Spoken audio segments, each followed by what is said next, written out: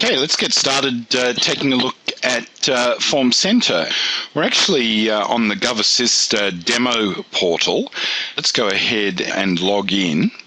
I've already pre-registered uh, with this portal, so uh, just in the interest of time, I'll go ahead and log in. The first screen that we're brought to enables summarizes the basic services that we make available uh, through the self-service portal. And once again, I, would just like to make sure that uh, everyone understands that uh, this is something that's designed to be integrated with either an existing web application or perhaps an existing enterprise portal. We're demonstrating it here in a standalone mode, but uh, the intention is always that this would be integrated with an organization's uh, website uh, somehow. So the first task that we need to do here is come along and actually search for and find forms. Forms can be owned by multiple departments or organizations. One can uh, filter those forms and uh, narrow down the, the selection via a variety of uh, different mechanisms. Once we've uh, located the form, uh, the first thing we'll do is we'll click on a link to the form itself, and uh, it brings us to what we call a landing page. And the purpose of this landing page is to really provide information uh, about the form or the service that's about to be completed. Another, many organizations may use a search engine or have static links embedded in a website. And in fact, when uh, one clicks on one of those links, you're brought to this page. The page um, provides a number of a number of services or capabilities behind it. Aside from just letting you go to the form itself, it also provides a mechanism to uh, either self-register or log in, and you can make it mandatory that a user be registered in order to complete a form, or alternatively, you know, you can have anonymous completion of the forms where the users don't need to be logged in. There's also a lot of metadata behind this page as well that can be discovered by a search engine. The page is co-branded with the name of the organization or partner that might actually, uh, if there's a, a, need for co-branding. So next, let's uh, click on the, the form itself and uh, open the form up. And uh, this particular form's a, a PDF uh, form built with uh, LiveCycle Designer and uh, is very typical of the kinds of forms that uh, one interacts with. I won't go into a great deal of detail on the form itself. I'll choose um, choose a couple of the basic options, and as I do that, like most smart forms, it's uh, filling out additional information, making that available online. Once again, I'm not going to fill in any details in the interest of time here. I'm just going to scroll through things. This form does have one uh, fairly nice component. It's actually a form where somebody can apply for uh, a compensation claim. And in this particular case, um, we have a graphical injury selector that's part of the form or built into the form itself. One can click on a, on a body part and uh, identify a, uh, a particular type of injury. And in selecting the injury, the, uh, the, there's a summary built at the bottom of the form, etc. So um, we can uh, go through and click that, click on that. Let's go ahead though and submit the form. So I'll click on the I agree to the above conditions, click uh, submit the form. And uh, in, as part of a submissions process, it's identified that um, before we can complete the submission, I need to actually have uh, upload my medical history as well. So I'll come along and uh, and uh, uh, browse for that file. Now, in doing that, it's telling me that it's got to be a certain file type. It's got a maximum size. If I click on uh, OK there, I'll choose the medical history record and just attach that and uh, once that's completed, uh, my submission goes through.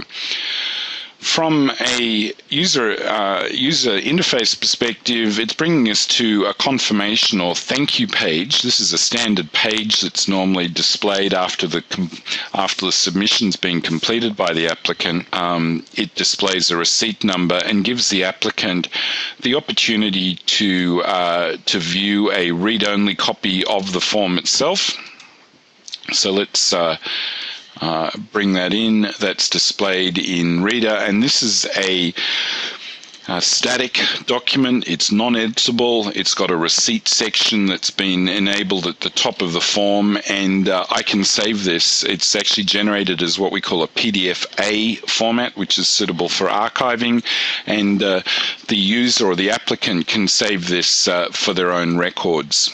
Um, of course, it's also possible to go back to the user portal and see a history of all of my previous submissions um, and even view um, a to-do list of uh, items that maybe forms that I may have uh, partially saved uh, previously and I can come back and open at a later point in time.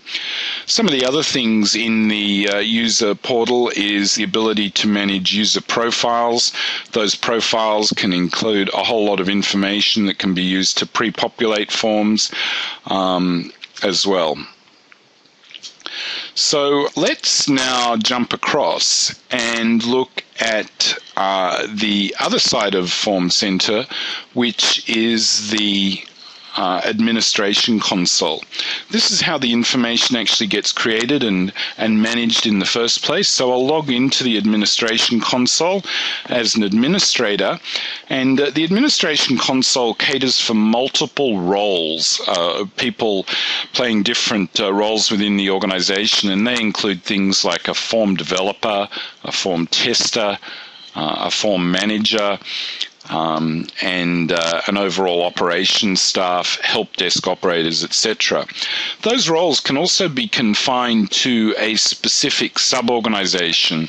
So if you have a department that wants to be able to manage all of their own forms, roles can be defined that constrains them to only viewing and dealing with information specific to uh, that particular department or organization. Same thing would apply with business partners, uh, which can be very handy in a number of different uh, scenarios. In fact, FormCenter uh, utilizes what we call a multi-tenanted architecture, which means that it actually operates very well in a cloud-based environment as well. So, from an operations perspective, um, let's start off just having a look at a couple of things. So, the first thing we can see here is that uh, if we have a look at the submission history, we can see all the forms that have been submitted within a given time range. And in fact, uh, this is fairly important because there's a lot of detailed information kept about each about each form. Everything from the the details of the submission through to any attachments that may have been uploaded, um, payments if payments are occurring through to audit details, uh, etc. And so this is very handy for help desk staff and also for reporting purposes, and I'll talk more about that in a few minutes. In addition to the submission data, every time we render or display a form, we also keep a record about that. And uh, that's very important from a performance perspective because we can really start to see and track down, particularly as volume increases, detailed performance metrics um, through that uh, request log and that can be very, very important. Um, let's come back, and uh, there are a number of reports that this enables us to do every to produce. This one is one that we call a submission uh, trend report, and uh, if I do that through to the end of uh, June, um, we'll see some uh, more information uh, spring spring out of that um, earlier in the year. You can see um, both the blue area represents all the form requests and the orange represents the submissions. So this is telling us about the abandonment data as well, or percentage of forms that are rendered versus those that are submitted. And in fact, we can even drill into looking at the different versions of Reader uh, that are actually uh, being used for uh, PDF-based forms. Um, there are a number of other um, reports and uh, detailed pieces of information that are very important to the operations team in actually managing uh, and the publication process and uh, tracking the day-to-day operations of the system. Um, from a form developer's perspective, if I wear my form developer's hat, of course, one of the most important things I need to be able to do is upload my forms into a test environment uh, where the forms can be tested and uh, um, tried out prior to being put into uh, production. So um, what I'll do is uh, just choose my department. Normally I'd be restricted to a specific uh, department. Sample uh, form. give it a name. Form code. So this is a unique code that's specific to each form and the type of form. So um, I'm just going to work with a dynamic PDF form, but we support all sorts of form guides and even uh, HTML forms as part of the solution. Next, we need to choose the actual template, the typically created by uh, Livecycle, Adobe Livecycle Designer. So I'll choose the, the, the form document itself and uh, I'll also choose the uh, what we call the schema seed file, which is used if we need to map pre-population data into the form itself. I'll select the portal that this is associated with. Um, so it's the GovAssist portal. And uh, I'll also choose some, and in fact on that portal, um,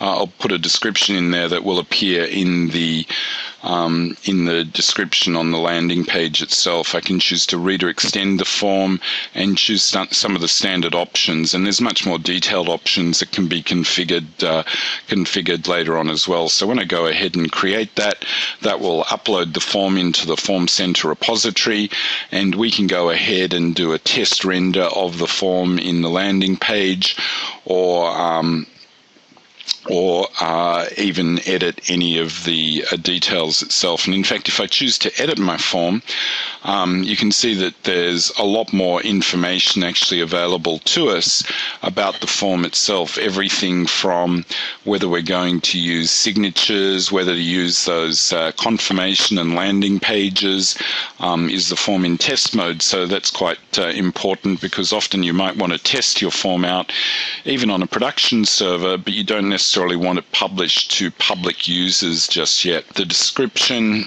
so um, we can really fill in a, a fairly detailed uh, uh, description uh, through here. Control the generation of the receipt number that's used in the form itself, and the receipt number uses some patterns, um, but we can also call into back-end systems to utilize the receipt as well.